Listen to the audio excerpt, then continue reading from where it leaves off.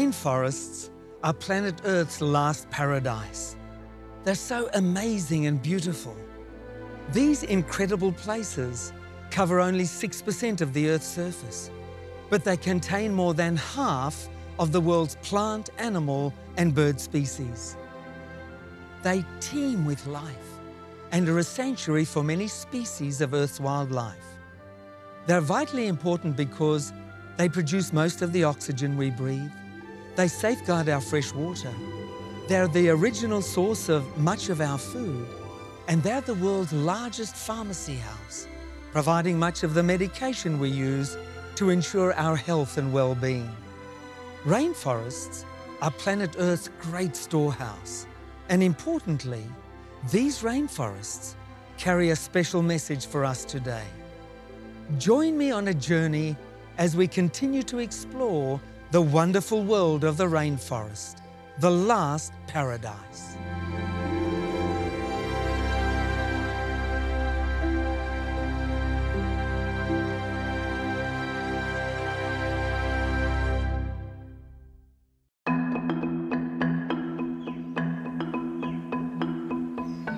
This huge mound of leaf litter in the heart of the rainforest is raked up by one bird, a male brush turkey.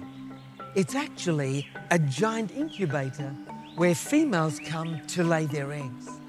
Amazingly, the male maintains the temperature of the mound at a constant rate. He achieves this by removing leaves when it gets too hot or adding leaves if it starts to cool. He instinctively knows that decaying leaf litter generates heat, just what's needed to keep eggs warm. It's springtime now, and he's been working hard to get the mound ready. It's taken him months to build it to this size.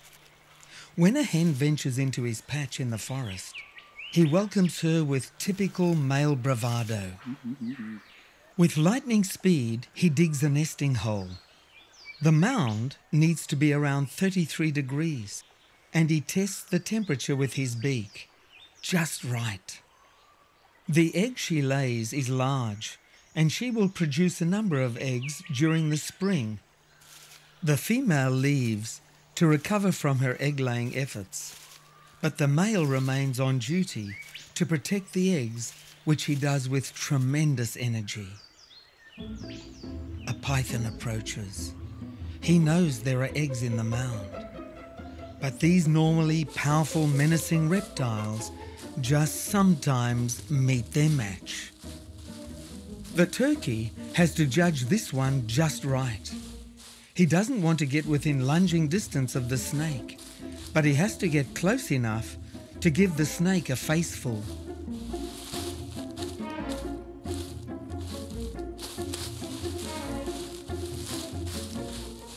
Such a lot of effort by the male to protect the eggs.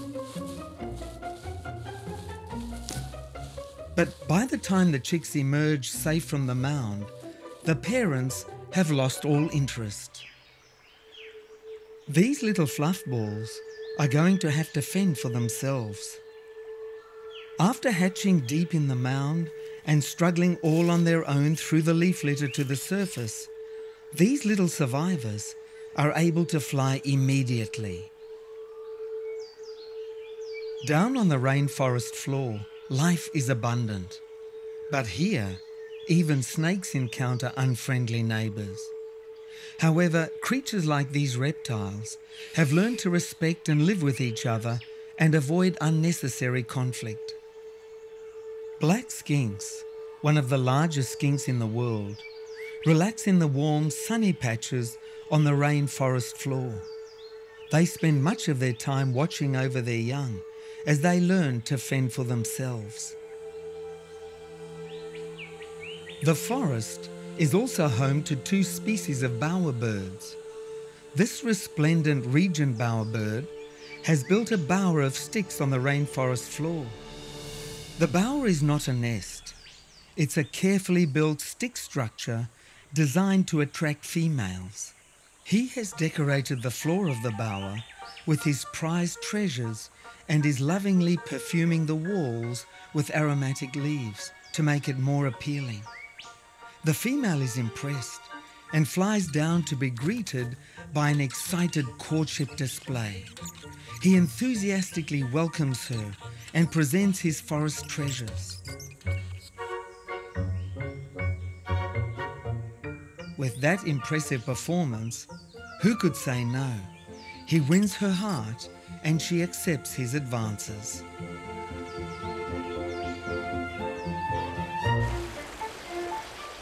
The spring rains arrive and swell the rainforest streams.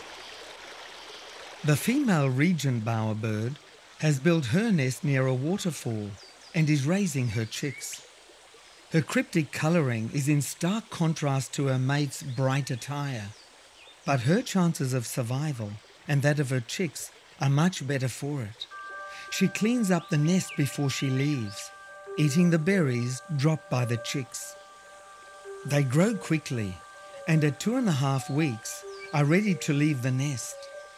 As a single parent, she must divide her time between gathering food and caring for her young. After their flying adventures, the family settle beside a sleeping rainforest dragon. The dragon lies motionless on a limb. He blends in with his surroundings and relies on a lack of movement to escape detection.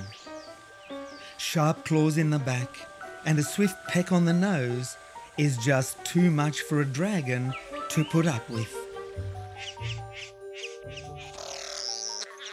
More widespread is the intriguing satin bowerbird, and these highly competitive males just love the colour blue. Anything blue they can find gets pride of place in the bower.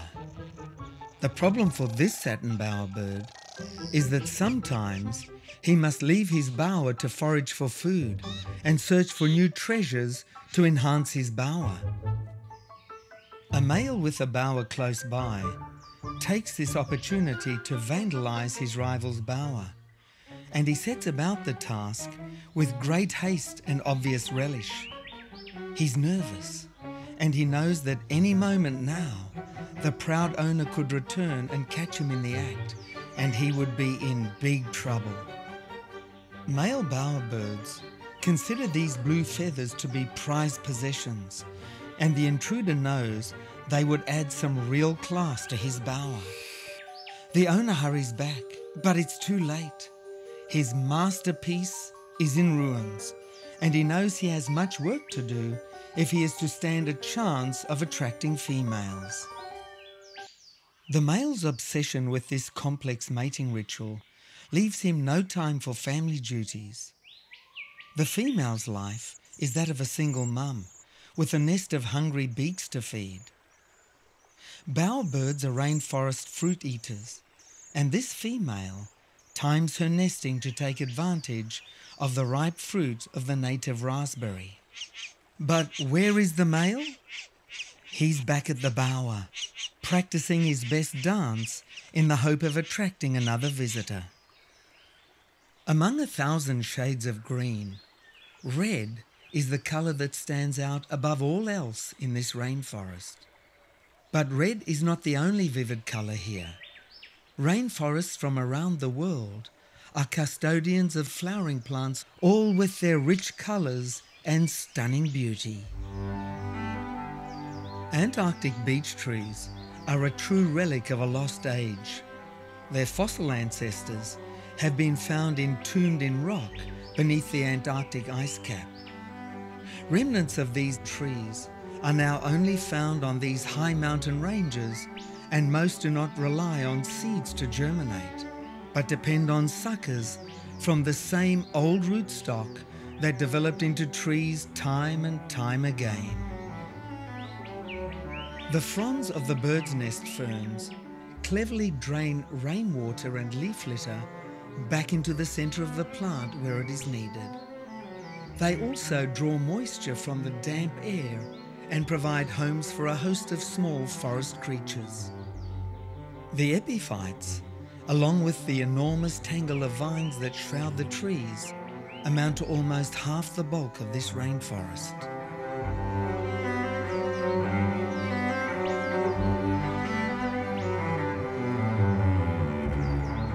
many rainforest trees have shallow roots, and they rely instead on extensive buttresses for stability.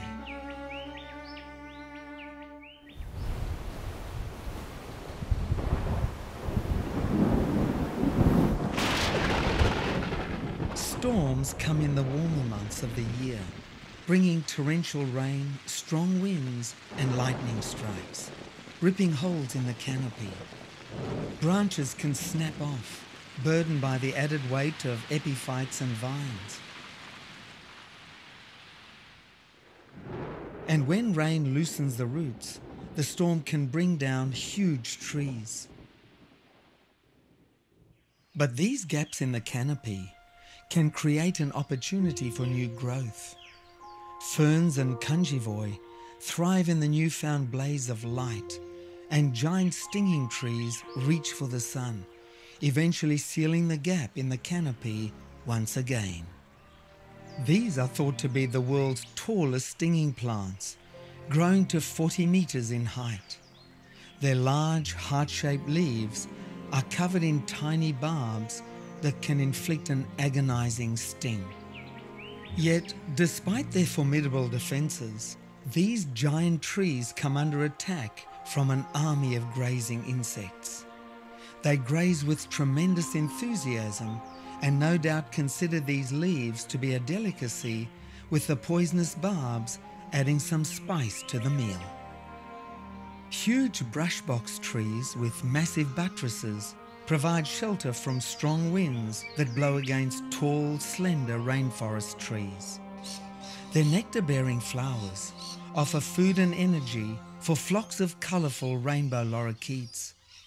They move hastily through the foliage, pausing only to lick and savour their sugary meal with specially adapted tongues.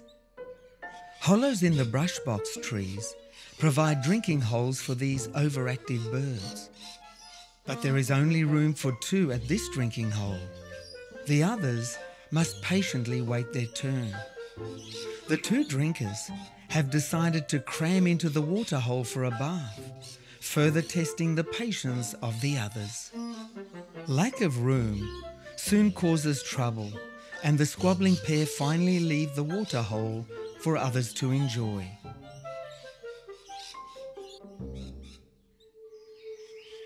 Rainforests are extremely biodiverse, and this biodiversity is essential to the health of our planet.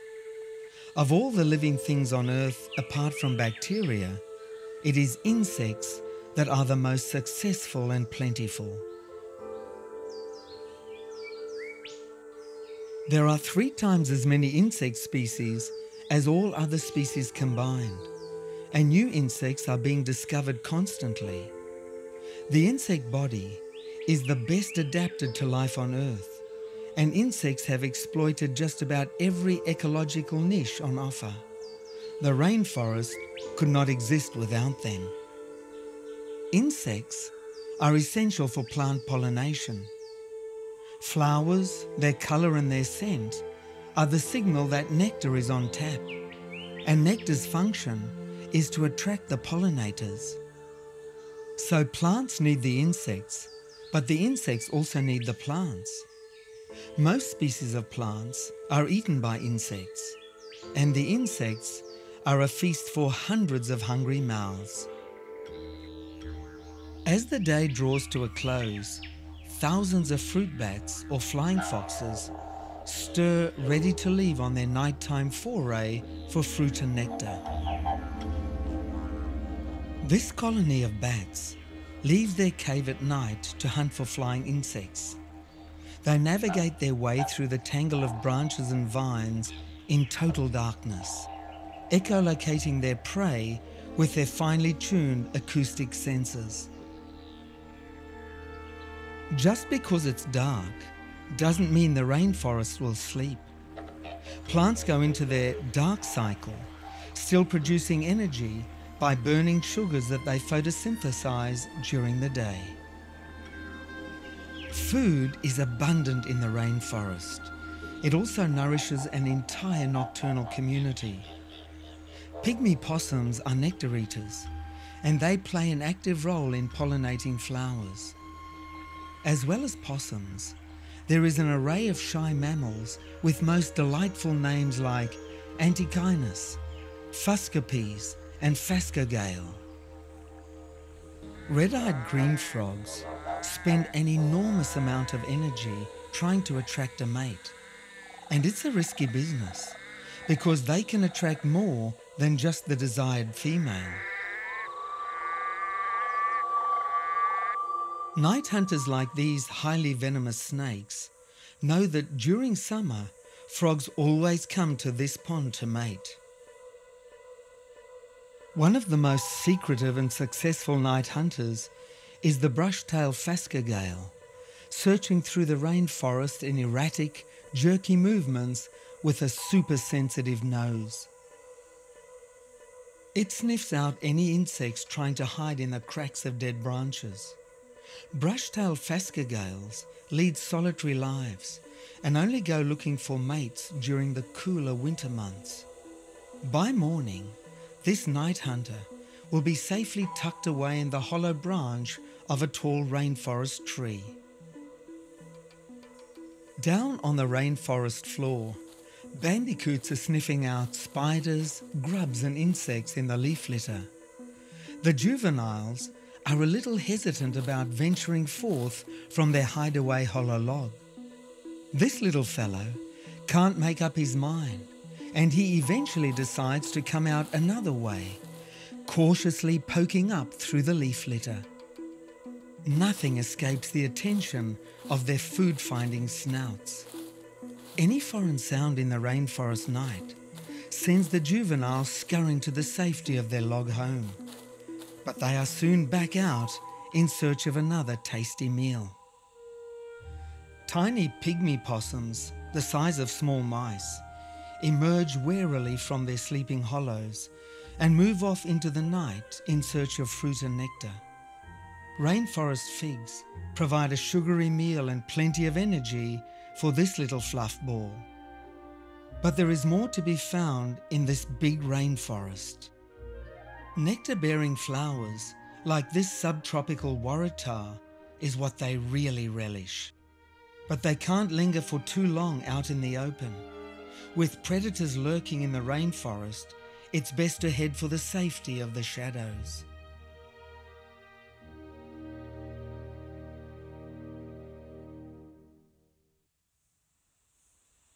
This mother spotted tail quoll has successfully raised well-fed young. She has taught them to forage and sniff out food for themselves. Being youngsters, they're always looking for opportunities to chase each other and play hide and seek around their log home.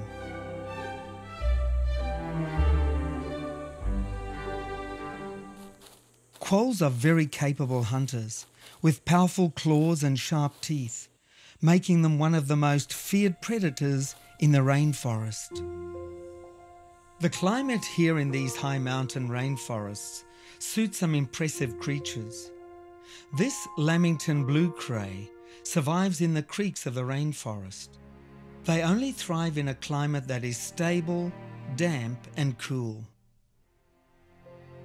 Many other creatures of the forest also come to these shady pools to drink and to bathe. The rainforest is one of the last bastions, home to a unique community, survivors of a golden age. Every creature living here is precious, and we must do all we can to protect their home, this complex and beautiful world that is the rainforest.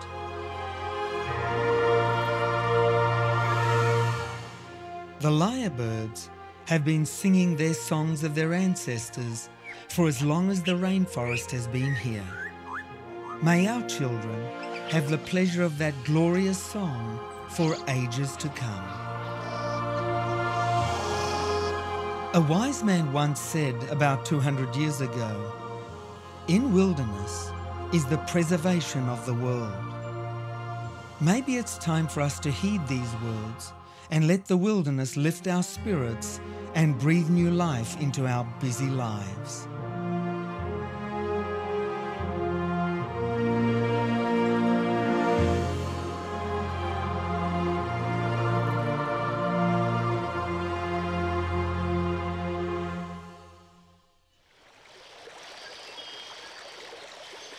But the rainforest does more than that, much more. It carries a special message about our origins that gives us meaning, purpose, inner peace and happiness right here and now, and gives us hope for the future. In the rainforest, we see beauty, order, design, precision, and balance. This indicates that the rainforest is the outcome of intention rather than chance. It's the result of design rather than accident. The rainforest tells us as forcefully as anything can that a master designer has been at work. The Bible identifies this master designer in its opening sentence. Here's what it says in Genesis chapter 1, verse 1. In the beginning, God created the heavens and the earth. So, the message of the rainforest is simple and clear. All the abundance of life here and beyond, right across planet Earth, didn't get here by chance or accident. Rather, life began with God, the master designer. Now, do you see what this means? It means that life has a purpose, particularly human beings, the pinnacle of God's creation.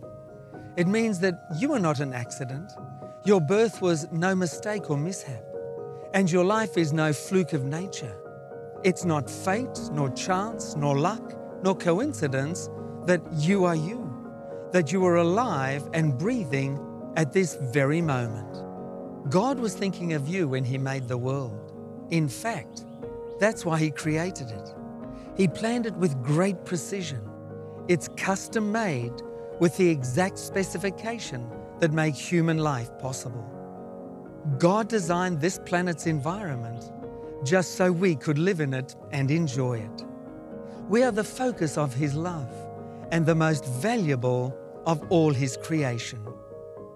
You are alive because God wanted to create you.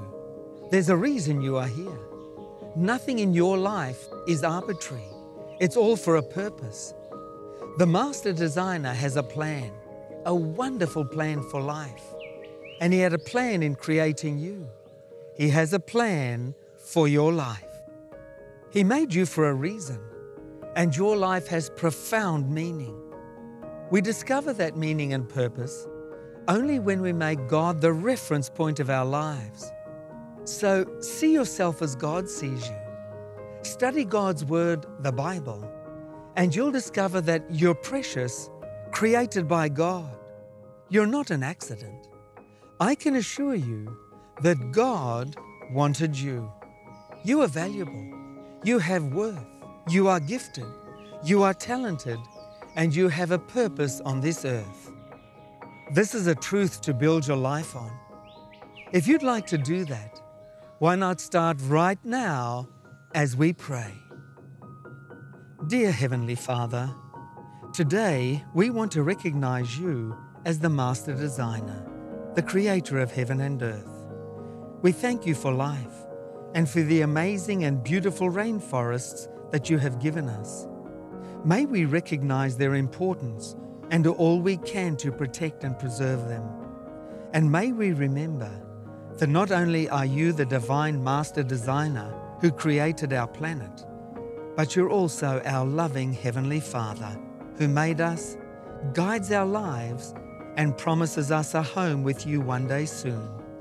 Bless us now, we pray. In Jesus' name, Amen.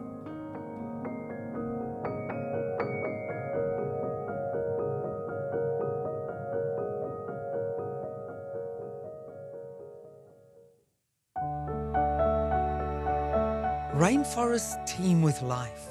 More species live in rainforests than anywhere else on Earth. These incredible places cover only 6% of Earth's surface, but yet they contain more than half of the world's plant and animal species. As many as 30 million species live in rainforests, including one third of the world's bird species. But how did it all start? This rainforest and all its inhabitants just how did they get here? Where did they come from? Life. How did it begin? Well, there are really only two options. All the life that we see here in the rainforest happened or got here either by accident or by design, evolution or creation. If you'd like to take a look at the evidence and consider this question of how life originally began, and if you're looking for hope and ways to find inner peace and true happiness, then I'd like to recommend the free gift we have for all our viewers today. It's the book, How Evolution Flunked the Science Test. This book is our gift to you and is absolutely free. There are no costs or obligations whatsoever. So make the most of this wonderful opportunity to receive the gift we have for you today. Here's the information you need. Phone or text us at 0436 333 555 in Australia or 020 422 2042 in New Zealand or visit our website tij.tv to request today's free offer and we'll send it to you totally free of charge and with no obligation.